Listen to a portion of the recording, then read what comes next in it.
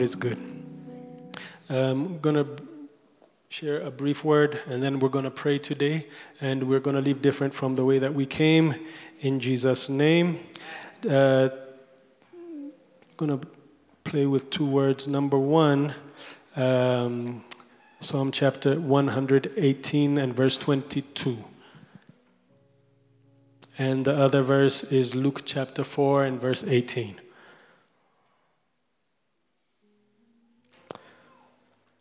The stone the builders rejected has become the cornerstone. The stone the builders rejected has become the cornerstone.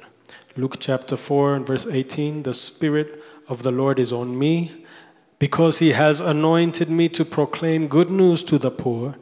He has sent me to proclaim freedom for the prisoners and recovery of sight for the blind, to set the oppressed free to proclaim the year of the Lord's favor. Hallelujah. Father, in Jesus' name, thank you for your wisdom. Thank you for your strength. Speak through my mouth. Give us ear to hear. And I pray that we will all leave different today from the way that we came in. In Jesus' name, amen. Hallelujah. Now, I'm going to give some background and then we're going to get into the, the, the scriptures that I uh, chose for this morning.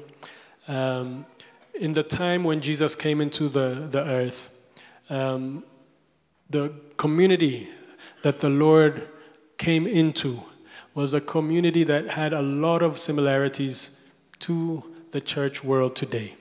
Number one, everybody feared and loved God passionately. Number two, they all had a common enemy in the Romans. Number three, everybody had a hope for a coming Messiah. And they had a hope that this Messiah would crush the enemy. And so they were united in all these areas, but among themselves and within themselves, there was very deep, deep, deep divisions and deep lines of demarcation that separated people from people. There was the, the Pharisees and the Sadducees that had arguments over supernatural, um, the belief in afterlife, uh, and uh, or not. There was divisions with the, the, a group called the Essenes, which many people feel that John the Baptist was a member of, which were a very extreme operation, an extreme unit of people who were very holy and lived in isolation, similar to the monks that would follow the desert monks that would uh, take root in the church culture in the second century. Uh, and there was the complicated relationship with the Samaritans. The Samaritans was a division, both ethnic and religious, that made for a very complicated uh, relationship, all believing in one God, but they had very, very strong personal convictions and personal Uh, uh, personal animosity. All right? Each one of them had a common belief in Messiah, but they believed that Messiah, when he comes, he will justify their position and show how much more superior they were than their rival groups. All right? Very much like today. Everyone loves God. Everyone is believing for similar things. We're all leaning in the same direction, but there is division. There is great division over interpretation of Scripture, application of Scripture, what to wear, what not to wear. In our personal context here in Ethiopia, within the evangelical community, doctrinal positions, uh, personality issues, all kinds of things divide the church. There are, in fact, over 30,000 branches of church, church practice and denomination in the world today, when Jesus was always praying that we would be one. Uh, someone missed the memo somewhere, right? And so all of us, we have our persuasion, and even Beza, we have our own persuasion. It's impossible to be in the world and not have a persuasion.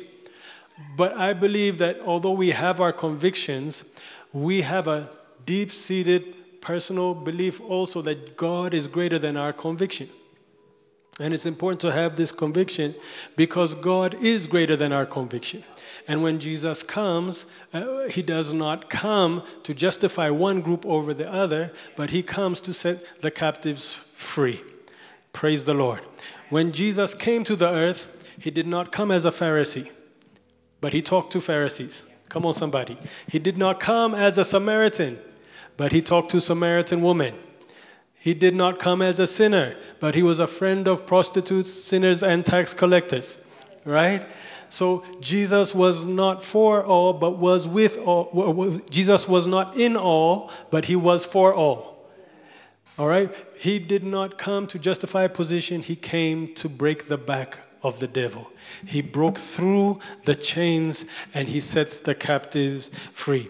He said in Luke 4, the first statement, public ministry, first proclamation of Jesus. It was not endorsing a political candidate, candidate or political objective. Ooh, hallelujah. He said, The Spirit of God is upon me because He has anointed me to preach good news to the poor. He has sent me to proclaim freedom for the captives and recovery of sight for the blind, to release the oppressed, and to proclaim the acceptable year of the Lord's favor. See, all of our different positions, they are good, they are intellectually stimulating, but they do not necessarily set us free. That is the work of Jesus. Our positions might be strong and it's good to have convictions, but the devil is not afraid of your conviction. He is afraid of Jesus. And when Jesus shows up, he takes care of. Hallelujah. So this is not a gathering. The church is not to be a gathering where we tout, tout our preferred position although that is necessary from time to time because we need to have a good foundation of what we believe and why. But we have to know that when it comes to this business of dealing with the devil, it's not a doctrinal position, it's a battle of light and darkness. It's a battle of bondage and freedom. Can we say amen? And today, Jesus is just as anointed as he was then to set the captive free, to minister to. He is the good shepherd. He leads us to the still waters. He is after our wounds. He is after our hurts. He's here to bind the brokenhearted. Can I get amen or something in the house of God today? He is for you. And He is after the enemy who is tormenting you, the enemy who has subjugated you and who has oppressed you.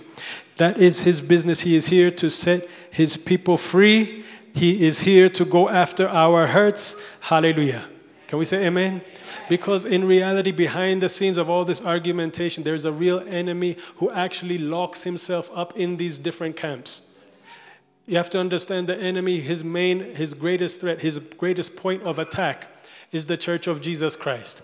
Because we're the only institute that pre- represents a threat to him and his kingdom. Uh, he does not go to parliament. He does not go to Yeshi Bunna. He does not go to Nok Madia. He goes after the church because those are just businesses, those are just neutral entities. We are a force that has been designed to go after. In fact, Jesus said of the church that the gates of hell cannot prevail against the church. So when he hears that and he knows that he works overtime to make us divided, 30,000 plus divided, right? He himself does not operate in division, he operates in unity. He is unified to ensure our division. Jesus is above our, docu- our doctrine, denominational, doctrinal, theological argumentation. He is Jesus. He is the good shepherd. So today, in the spirit of Jesus, I serve notice on the devil today that today is a day of great visitation for somebody. I received this message on the plane. And I feel in my spirit that there is somebody who has been in a cycle that you cannot break, a darkness you cannot break. It's not that you do not love the Lord, it's not that you're not faithful to His word, it's not that you are doing your best. It's that this enemy has been tormenting you, and what you need today is a heavy dose of Jesus Himself the Son of Man was revealed not to shore up the doctrinal position.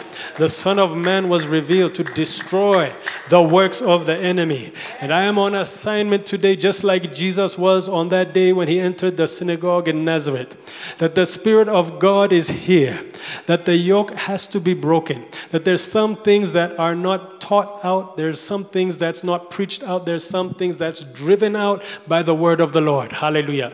And I release that word now for somebody in Jesus' name. There is deliverance in the house today. There is freedom in the house today. God is light. In him there is no darkness. Amen. Praise the name of the Lord. Can we say amen? amen. Can we say amen? amen? Hallelujah. Now, I wanted to just clarify. Um, I want to en- encourage the church to position the church today to receive from Jesus. I'm not here to give lecture today. We'll do that another day. Today I am after this heaviness, this cyclical bondage that is releasing so much poison in your life. Hallelujah. I believe that today is the day where the lies of the enemy give way to truth. Why his deception comes to an end today in Jesus' name. In Jesus' name. Hallelujah. Now, now, this is the thing we have to understand. Um, we have to position ourselves a little bit better than we are right now. Um, how we approach Jesus determines what we receive from Jesus, right? He's attracted to the humble, he's attracted to the hungry, uh, he resists the proud, he gives grace to the humble. Am I right about it? Um, and, and, so I, I just want to encourage everybody to just let go of that uh, attitude of resting in your understanding of what you think that you know that you know. Bible says we're to trust in the Lord with all of our heart and lean not on our own understanding. There's a head knowledge of God and a heart knowledge of God. Head knowledge will not work for you when it comes to receiving from God. It will stimulate the thinking, but it won't deliver you from the bondage. It's a heart engagement, hallelujah. And sometimes this needs to be surrendered in order to receive the river of God. Can we say amen? amen? Yeah? Praise the Lord. Now, let me just paint this picture for us today. Um, when Jesus was on the earth, uh, he, it's interesting, he broke the bondage in the house of the Pharisee, he broke the bondage in the house of the Sadducee he set the Samaritan woman free. And he was baptized by John the Baptist. He was anointed by sinners, and he released the, the, the thief on his one side into paradise with him. He's not to firm up, he's not here to firm up your position, he's here to set you free. And he will set you free at this church, and he will also set you free at that church. He will set you free, free even at the other church down the street. He will set you free. He is on a mission not to firm up our doctrinal position, He's on a mission to set the captives free. Hallelujah. It's how we receive from Him needs to be on a deeper level than what we know about Him. Hallelujah. He understands hunger. He doesn't, he, he resists the proud. He resists the proud. Now there was two people, significant people that came to Jesus that's recorded in the Gospels. And I just want to kind of paint this picture today of these two people because I believe that somebody's going to receive something from heaven today. Are we ready? Number one, there was a man named Nicodemus. He shows up throughout the Gospels. Nicodemus came to Jesus in John chapter 3. He came to him at night. When the Bible describes Nicodemus, it says he was of the a member of the ruling council of the Jewish people. It's also called the Sanhedrin. He is a ruler, a member of the rulers, the ruler ruler. You know, when you have ascended to the position of rulership, it comes with some clout. In today's languages, he is the bishop of the church of so and so and such and such. He is the senior pastor of Beza International Church. See that when you say that, you know, put that on your business card. Right? When you know you started in a car that needed faith, you kind of arrived, right? Yeah? One day I was invited to speak at a meeting. It's like, it's like the World Cup for pastors. Kind of arrived. Nicodemus was like that. He worked hard, he's achieved a lot, he's the man. But he was in conflict because although he was a member of the Pharisees, eh, he also had appetite for Jesus. He was curious about what Jesus was doing. And he, he, he, he had never heard or seen anything like this. He loved what he was seeing over here, but he was still a member of the Pharisees. He was a member not just of the Pharisees, he was a member of the ruling council. Whew. Are you following what I'm saying? He had position, he had clout. And he could not reconcile the two. Now, this is important to be able to know the dividing line because the Bible says that the stone that the builders rejected has become the capstone. He's a member of the builders. The builders hate the, the, the, the stone. But Nicodemus is a member of the building and he loves the stone. How do you, what do you do? How do you reconcile the two? So he concluded in his own mind, he came up with a plan I'm going to meet with Jesus at night. At night, where nobody can see me, eh, I can do my business in private. That way, I can maintain my membership and my position and also get what I need from Jesus at the same time. So he came to Jesus at night. Hmm? And he, he started asking him questions. Hi, Jesus. Welcome. Oh, so nice to meet you, Jesus. You're amazing. You know that? Uh, Sammy, come here. Be Jesus for me. Nicodemus and Jesus. I did this in the Amharic service, and Manasseh refused uh, to be Jesus. He said, No, Pastor, you be Jesus.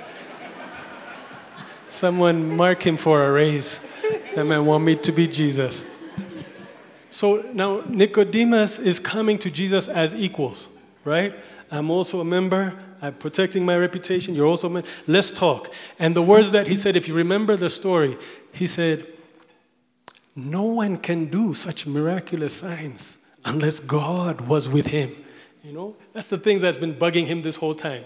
How can you do this and not be part of the, the Jewish ruling council like me? We've been trying to do this our whole lives, and you just come, you're not even a member of the council, and you're doing this is amazing. Let's talk about it. Jesus, how? How do you do all these signs?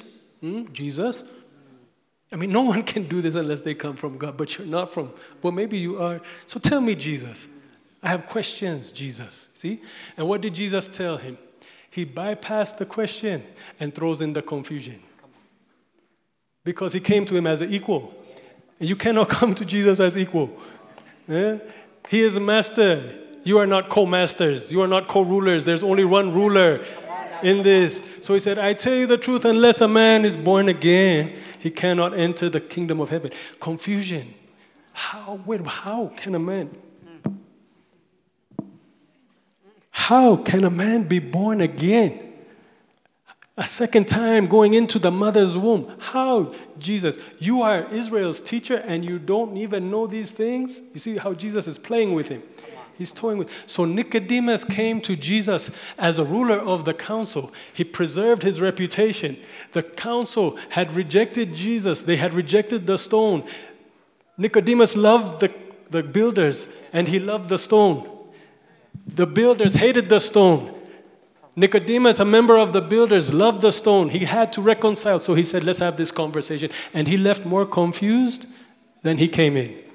There was another ruler. The Bible tells the story of another ruler. He was a synagogue, ruler of the synagogue, a man named Jairus. Like Nicodemus, he also had a lot of clout. He also had a lot of prestige. He also had a lot of position.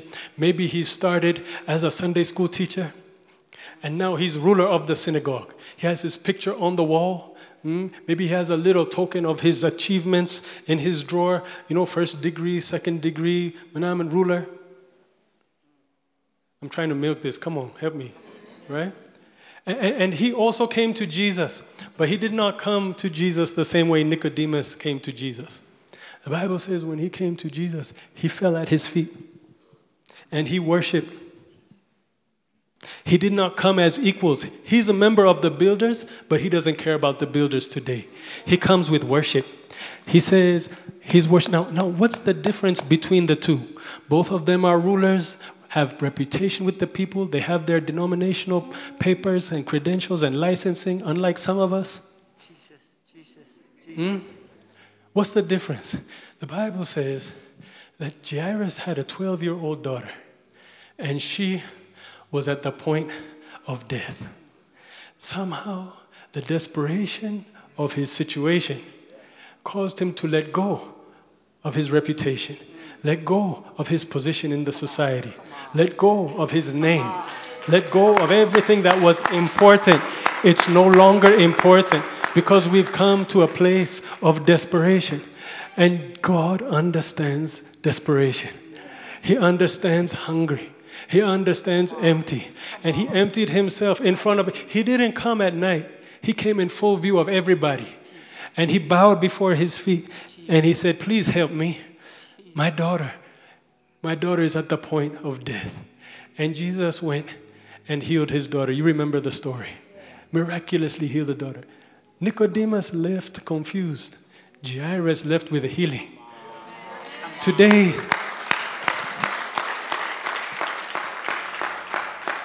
it's very likely today that somebody leave church confused, but it's also likely today somebody leaves with healing, with deliverance, with breakthrough. Don't come with your CV to the presence of God. Don't come with your experience in the presence of God. Don't come with how much you've eh, been working so hard for the Lord. You have years in your, in your background of working and doing so much. Come empty. Come broken. The Bible says, unless you change and become like a little child, you cannot enter the kingdom of heaven. A little child is very inexperienced and knows nothing. Come like you don't know, although you do know. Come like you have nothing, although you have something. And God will meet you at the point of your need. Hallelujah. Can we say amen? Can we say amen? I think that's the problem with so many of us. Uh, even a church like Beza, you know, even out, like people know about us over there. Oh, Beza, I heard about that church. There's somebody, I heard about that church. Yeah, it's a good church. Anything that is of the increase is just extra. The big deal in the house today is Jesus. Anything good that has been accomplished is because of Jesus. You know, it's amazing because when we started Beza, I, I, I, kind of, every time I hear stuff like that, when you travel, you hear stuff like that. You're, you're introduced with extra, you know, people. We started with an experiment that said, let's, we've, we've been in, we had been in ministry for many years, and we said, let us just try this thing of relationship. God spoke to us to put relationship first. So we said, let's try relationship because he said, if you do relationship, I will do ministry. Right? And you know, you're always under this presupposition that you're the one that does ministry. Right? We do ministry for God, but God showed us very clearly that we can do no ministry for God because that's the role and the work of the Holy Spirit. Some of you in here, I know your stories. That was not good preaching. That's the Holy Spirit doing an amazing work that no man can do. I know many of you, I'm even looking at this congregation. I know your stories. That's just a miracle. You all are a, you are a miracle sitting in here. So God has reserved the things of ministry to himself. It's not my work, it's not my responsibility. But at the same time, he said, relationship is something that only we can do and not God. God cannot do relationship for us.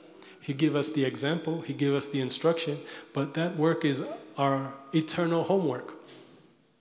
So God can't do ministry, uh, God can't do relationship, and we can't do ministry. Right? That's what he told us. So we, we, we made a commitment that whatever it looks, we'll try our very best to do relationship. Meaning that particularly in the leadership, uh, we, won't, we, we will find a way to make it happen relationally. And we'll leave the ministry to God. If there's ever a hard decision to be made, we will make a hard decision on the, relation, on the ministry side, not on the relationship side.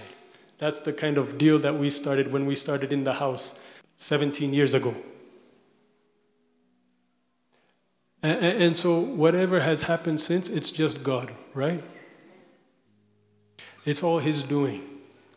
But that thing can deceive you so easily.